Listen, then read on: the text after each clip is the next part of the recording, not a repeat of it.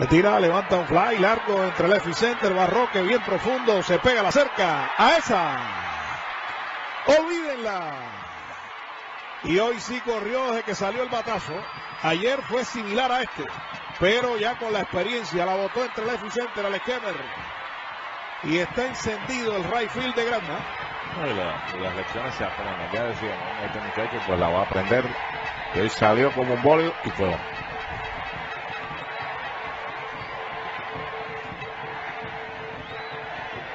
Pone el juego 6 por 0. Llegó el jonrón cuando no hay nadie en base. Y esto prácticamente no ha pasado, únicamente abriendo inning.